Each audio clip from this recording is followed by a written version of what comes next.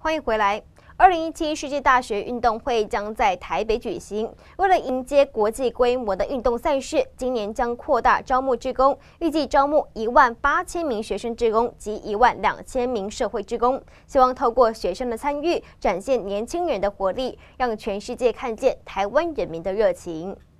亲自颁发感谢状，台北市长柯文哲感谢北区大专校配合办理市大运的职工招募，期盼借由招募职工的活动，能够让台北市动员起来。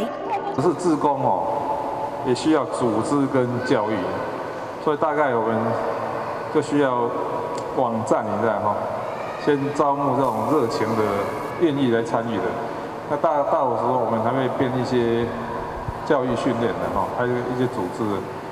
预告二零一七世界大学运动会即将开跑，主要招募对象为满十八岁的大专院校学生，招募人数总计为三万名。因选手来自世界各地，也欢迎语言志工一同投入。那事实上还包括场馆的志工哈，包括交通维护的哈，或是当场现场的管理，所以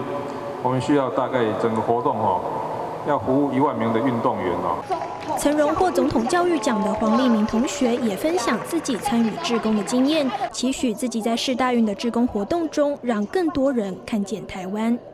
因为自自己本身是身心障碍者，所以觉得常常觉得就是得之于人者太多，出之于己者太少，所以觉得自己能出一份力，就是尽量让自己全力以赴。邀请广大的年轻学子参与志工活动，除了服务他人，也将台湾的热情传递到全世界。新唐人台电视曾一豪、郑勋宇、张麒麟，台湾台北报道。